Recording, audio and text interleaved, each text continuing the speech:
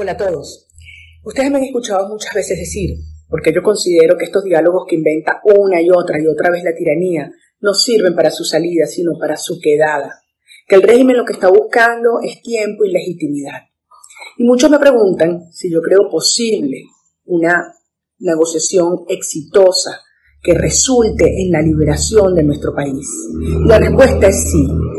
Ahora, ¿cuáles son los términos, las condiciones, los tiempos, los actores para que esa negociación resulte en la liberación de Venezuela? Sobre eso vamos a discutir en un foro este miércoles 13 de octubre. Así que no se lo pierdan. El foro se llama ¿Es posible una negociación exitosa para Venezuela? Este miércoles 13 de octubre. Los espero.